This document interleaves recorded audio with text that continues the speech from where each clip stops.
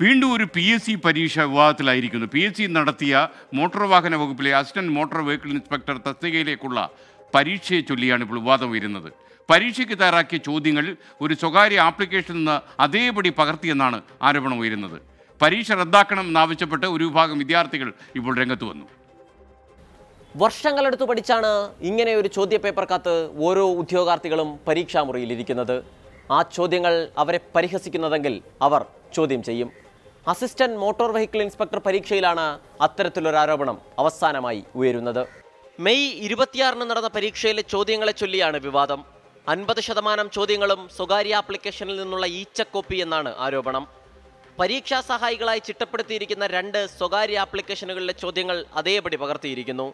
അതിലെ തെറ്റുകൾ പോലും പി എസ് സിയുടെ ചോദ്യപേപ്പറിലും ആവർത്തിക്കുന്നു.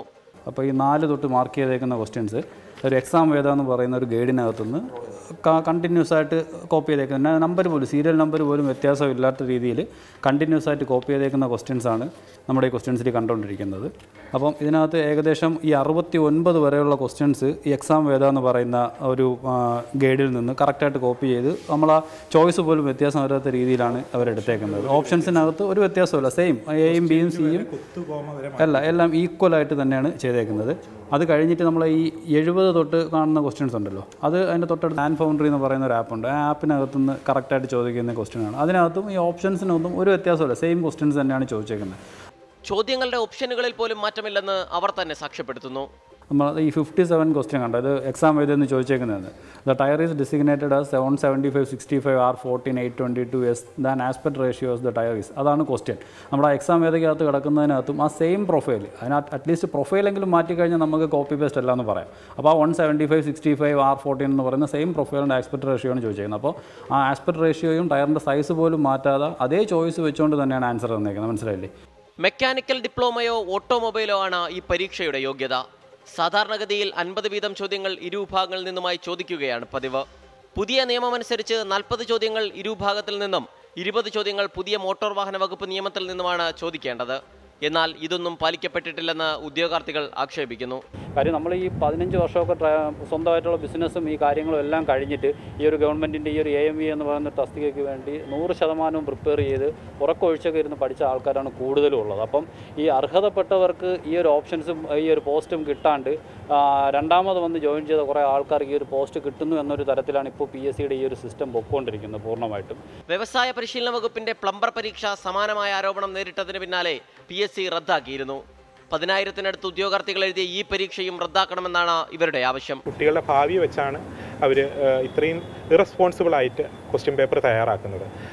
ഇതിനെതിരെ ശക്തമായ പ്രതിഷേധമാണ് ഞങ്ങൾക്കുള്ളത്. കാരണം ആ കാരണം ഈ എക്സാം ഞങ്ങൾക്ക് ക്യാൻസൽ ചെയ്ത് ഈ എക്സാം എഴുതിയ കുട്ടികൾക്കെല്ലാം ഒരു അവസരം കൂടി നൽകണമെന്നാണ് പി എസ് സിയോട് ഞങ്ങൾക്ക് വിനീതമായി അപേക്ഷിക്കാനുള്ളത്. പി എസ് സിയിൽ നടക്കുന്ന എല്ലാ പരീക്ഷകളും അന്വേഷണ വിധേയമാക്കണമെന്ന ആവശ്യവും ഇതോടെ ശക്തമായി.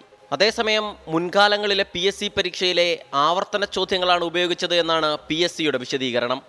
എട്ട് വർഷങ്ങൾക്ക് ശേഷമാണ് അസിസ്റ്റന്റ് മോട്ടോർ വെഹിക്കിൾ ഇൻസ്പെക്ടർ തസ്തികയിൽ പരീക്ഷ നടക്കുന്നത്.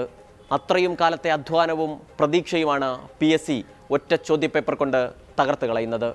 ഇതിനു മുൻപ് പലതവണ ചോദ്യപേപ്പർ കോപ്പിയടി വിവാദം ഉയർന്നിട്ടും പി എസ് സി എന്തു നടപടി സ്വീകരിച്ചു എന്നതും ചോദ്യമാണ്. സലിം മാലിക് ട്വന്റി തിരുവനന്തപുരം. പൊതുജനം കഴുതയല്ല സാർ. പരീക്ഷയ്ക്ക് ആളുകൾ കോപ്പി അടിച്ചു എന്ന് കേട്ടിട്ടുണ്ട്. പി എസ് സിയുടെ പരീക്ഷയ്ക്ക് ചോദ്യമിട്ട ആളുകൾ കോപ്പി അടിച്ചു എന്ന് പറഞ്ഞാലേ അത് കേൾക്കുമ്പോൾ ഒരു സുഖമുള്ള കാര്യമല്ല. പി എസ് സിയുടെ പരീക്ഷാ നടത്തിപ്പിന്റെ പേരിൽ ഉണ്ടായിട്ടുള്ള വിവാദങ്ങൾക്ക് കൈയും കണക്കുമില്ല ഈ കാലത്ത്. തിരുവനന്തപുരത്ത് നിന്ന് ഒരു സംഘം ആളുകൾ കാസർഗോഡ് പോയി സിവിൽ പോലീസ് ഉദ്യോഗസ്ഥരായത് ഏറെ മുമ്പല്ല. ഉദ്യോഗാർത്ഥികൾ ഉന്നയിക്കുന്ന പ്രശ്നത്തിന് മറുപടി ഉണ്ടാകുമെന്ന് നമുക്ക് പ്രതീക്ഷിക്കാം. ഇതൊക്കെയാണ് നമ്മൾ അന്വേഷിച്ചപ്പോൾ നമുക്ക് കിട്ടിയ പ്രതികരണങ്ങൾ. അത് ഓൺലൈൻ വഴി വരുന്ന അതേ പാറ്റേണിൽ ക്വസ്റ്റ്യൻസ് ഇടാന്ന് വെച്ചാൽ അത് തീരെ ശരിയല്ലാത്തൊരു കാര്യമാണ്. കാര്യം അതല്ലാണ്ട് കുറേ ക്വസ്റ്റ്യൻസ് പ്രിപ്പയർ ചെയ്ത് പഠിച്ചു വരുന്ന കുട്ടികളുണ്ട്. അപ്പോൾ അവർക്ക് അത് അതിന് വേണ്ടിയിട്ടല്ലല്ലോ അവർ പഠിക്കുന്നത്. അത് ഫോളോ ചെയ്തിട്ടല്ലല്ലോ പഠിക്കുന്നത്. ഇവർ കഷ്ടപ്പെട്ട് പഠിച്ചിട്ട് ഇങ്ങനെ കാണിക്കാൻ കാണിക്കുമ്പോൾ തെറ്റാണ്? കാര്യം എന്ന് പറഞ്ഞാൽ അവർ പഠിച്ചല്ലേ എഴുതണം. ഇപ്പോൾ ഓൺലൈനായിട്ട് ഇത് വന്നാൽ ശരി തെറ്റാണ്. കഷ്ടപ്പെട്ട് പഠിക്കുന്നവർക്ക് അതൊരു പാട് തന്നെയായിരിക്കും. കാരണം അവർ കഷ്ടപ്പെടുന്ന പഠിച്ച് എഴുതുന്ന എടുക്കുന്നത് ഇവിടെ ആപ്പ് വഴി എടുത്ത് എളുപ്പം കിട്ടുന്ന പോലെ ആയിപ്പോൾ കോപ്പി അടിക്കാന്നുള്ള ഒരു തെറ്റാണ് പൊതുവെ. കോപ്പി അടിക്കൊണ്ട് ശരിക്കും തെറ്റാണ് ചെയ്യണം ഇതിപ്പം തെറ്റാണ്. അവർ പാടുപെട്ട് പഠിച്ച് ഇങ്ങനെയൊക്കെ ചെയ്യുമ്പോൾ വീണ്ടും അത് വരുന്നത് തെറ്റാണ്. അത് പഠിക്കുന്നവർക്ക് അതൊരു ഇതായിട്ട് വരും. അത് ന്യായമായിട്ടുള്ളൊരു കാര്യമല്ല ഫെയർ ആയിട്ടുള്ള കാര്യമല്ല. അവർക്ക് സ്വന്തമായിട്ട് എവിടെ നിന്നും എവിടെ നിന്ന് കോപ്പി ചെയ്തെടുക്കുക സ്വന്തമായിട്ട് ക്വസ്റ്റ്യൻ ഉണ്ടാക്കിയിടുന്നതാണ് നല്ലത്. എത്രയോ കുട്ടികൾ കഷ്ടപ്പെട്ടിട്ട് പഠിച്ചിട്ടാണ് ആ ഒരു പി എസ് സിന്ന് പരീക്ഷ എഴുതുന്നത്. ഗവൺമെന്റ് ജോബ് മാത്രമല്ല അവരുടെ ഒരു ഡ്രീം ജോബ് തന്നെയാണ്. അപ്പോൾ എനിക്ക് തോന്നുന്നില്ല അതൊരു ശരിയായ രീതിയാണ്.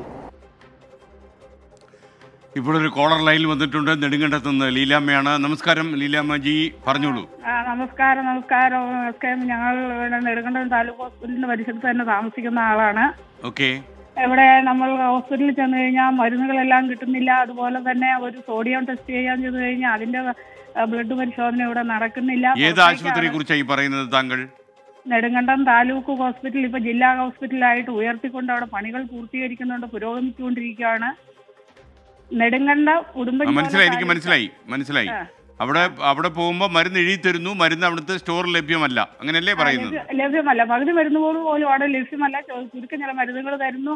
ഒരു ടെസ്റ്റ് നമ്മൾ ഒരു പിന്നെ സോഡിയം ടെസ്റ്റിന് പോലും അവിടെ നടക്കുന്നില്ല. ഇപ്പൊ ഡോക്ടർ പറഞ്ഞു ഇവിടെ വരിക ടെസ്റ്റ് ചെയ്തിട്ട് വരാൻ പറഞ്ഞ് ആ റിസൾട്ടുമായിട്ട് ഡോക്ടറുടെ അടുത്ത് വന്നപ്പോൾ ഡോക്ടർ ചോദിച്ചു ഇവിടെ നമ്മുടെ ആശുപത്രി പരിശോധന ഇല്ലെന്ന് ഓ ആ ഒരു സ്ഥിതിയാണ്. നമ്മൾ ഇതുപോലെ ഇത്രയും വലിയ ആശുപത്രിയായിട്ട് ഉയർത്തിക്കൊണ്ട് പോയിട്ട് പോലും ഇല്ല. അപ്പൊ ഇവിടെ പാർട്ടിക്കാർ വന്നു നമ്മുടെ ഭരണം എങ്ങനെയുണ്ടെന്നൊക്കെ ചോദിച്ചു വന്നു. ആ സമയത്ത് ഞാൻ ഇങ്ങനെ ഞങ്ങൾ പറഞ്ഞു നമുക്ക് ആശുപത്രിയിൽ മരുന്നില്ല എന്നൊക്കെ മെമ്പർ അടക്കമുള്ളവരോട് പറഞ്ഞാണ്. അപ്പൊ മെമ്പറും അത് സമ്മതിച്ചു ഇവിടെ മരുന്നില്ലെന്നുള്ളത്. എന്തായാലും ജില്ലാ ആശുപത്രി സൂപ്രണ്ടിന്റെ ശ്രദ്ധയിൽ ഞങ്ങൾ ഈ കാര്യം കൊണ്ടുവരുന്നു ലീലാമഞ്ചി സത്വരമായ നടപടികൾ അദ്ദേഹത്തിന് സ്വീകരിക്കാൻ കഴിയുമോ? നമുക്കത് സംശയമുണ്ട്. കാരണം കേരളത്തിലെ പല ആശുപത്രികളും ഈ പ്രശ്നം ബാക്കിയാകുന്നു എന്ന് ഞങ്ങൾക്കറിയാം. എന്തായാലും താങ്കൾ കാത്തിരിക്കുക. എന്തെങ്കിലും പോസിറ്റീവായിട്ടുള്ള ഒരു ഉത്തരം ഉണ്ടാകും എന്ന കാര്യത്തിൽ. നമ്മൾ പ്രതീക്ഷയോടെ കാത്തിരിക്കാം എന്ന് മാത്രമേ നമുക്കിപ്പോൾ പറയാൻ പറ്റുന്നുള്ളൂ.